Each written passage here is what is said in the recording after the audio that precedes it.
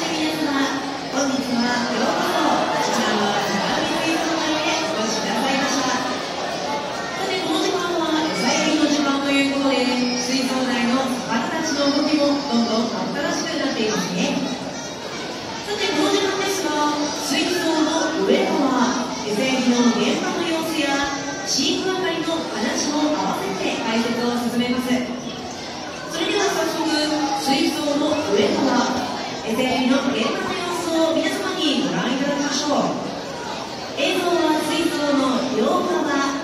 ますテレビモニターと左上の大きなスクリーンでご紹介いたします。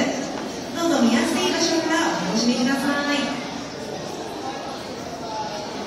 さあ、映っているこちらが現在の水槽上側の様子です。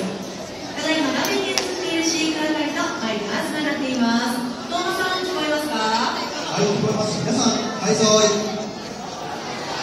はい、皆様、返事を返していただきましてありがとうございます。えーそれでは、ともさん、これからどの魚にどんな餌を与えるんでしょうか？はい、えー私はこれからジンベエザメに餌を与えていきます。餌の様子がこちらをご覧ください。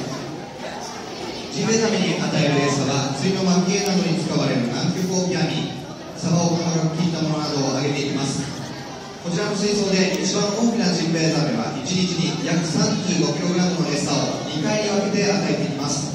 また、水槽内には3匹のジンベエザメ入ってますので、こちらの尺を使って、それぞれの、それぞれの場所に誘導していきたいと思います。はい、それでは、ガラスペン近くへご覧のお客様、どこから絵が終わるのかご覧ください。早速、水槽左上へ飼育。係の合図に合わせて、ジンベ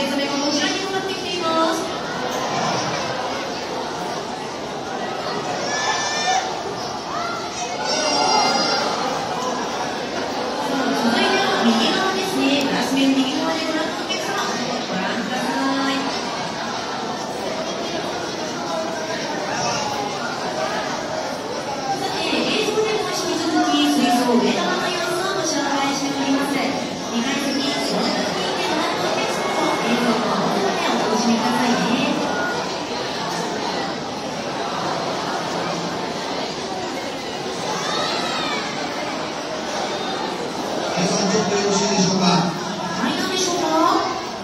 はい、えー、今からジンベエザメの口元にマイクを続けてみたい。と思い。ますので、聞い。てみてください。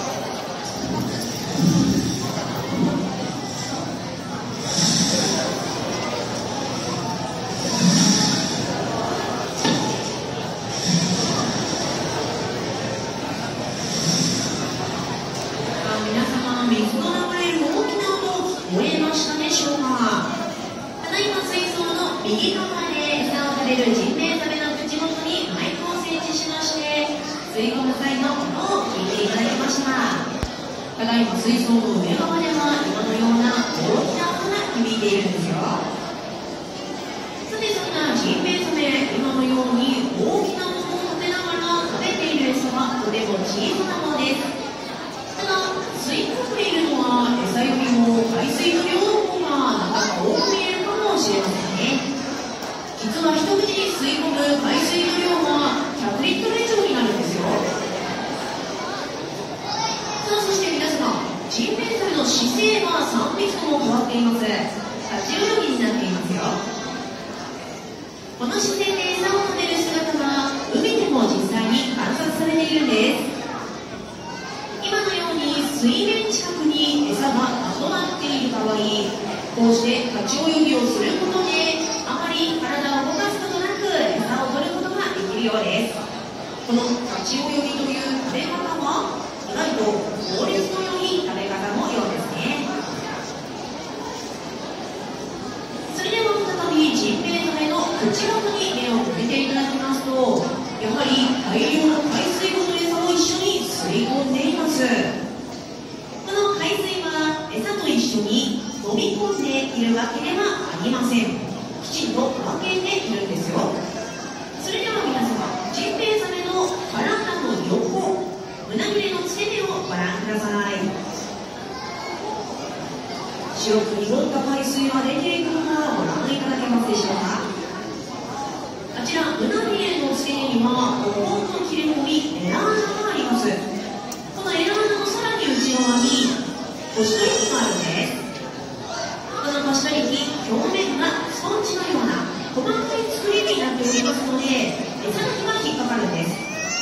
一緒に吸い込んだ余分な海水は体の外へ出しているんですね。このコシトリキがまるでフィルターのような役割をしているんです。このように餌の海水をこし取って食べる食べ方をろ過菜食と言います。それではここで飼育係の東馬さん。はい。水槽内にはもう一種類大きな体でろ過菜食をする魚がいるんですよね。はい。それはナイオウマンタです、えー、ナイオウマンタは水槽左右上の方で餌を食べていきます。ジンベエザメと同じくろ過菜食をする魚ですが餌を取る動きが違いますのでそちらも観察してみてください。はいそれでは水槽ガラスペン近くでご覧のお客様右上または左上をご覧ください。映像もマンタの方に切り替えられておりますので上の階でご覧のお客様ご覧くださいね。さて飼育係からマ餌を取る際の動きが違うということでした。いかがでしょうか？下から見るとお腹が真っ白なマンタ上からご覧いただきますと映像では背中は真っ赤なんですね。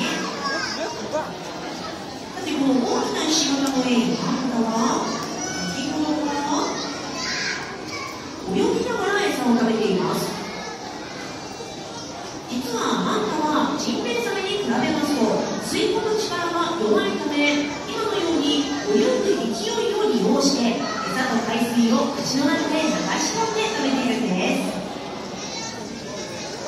ジンベエザメとマンタ同じ小さな餌を食べていてろ過菜食という食べ方も同じなのですがこのように種類が違うことによって餌の取り方が全く違います。魚たちいろんな種類のものがおりますのでやはり取り方や食べるもの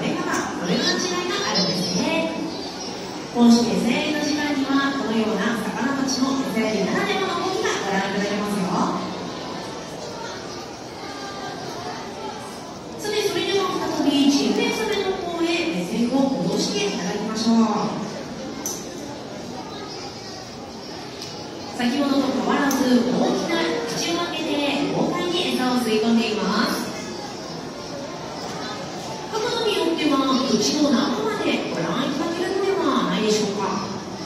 ジンベエザメの口の中にはサメと言葉を聞いてイメージしやすい大きな三角形の葉は全く生えていません。実は口の中に並んでいる葉は一本一本が5月ぐらいのなんとも小さなものなんですよ。今ご覧いただいてるように周りの海水のと餌を大きな歯は必要なかったのかもしれません。このようにサメの一言で言いましてもいろんな種類のものがいて食べる餌や食べ方がやはり長く違っているんですよ。さてこの時間は餌を食べる体が大きなジンベエザメやマンタなどをご紹介しましたが水槽内には他にもたくさんの魚たちが暮らしています。こちらの黒潮の紹介しているのは沖縄の沖合に暮らす魚たちです。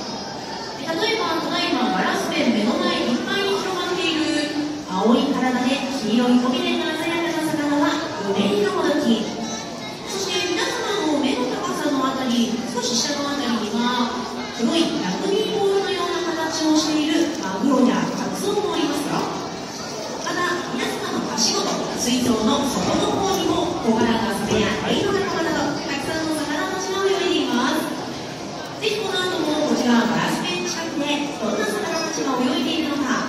沖縄の沖合に潜って気分でお楽しみくださいませ。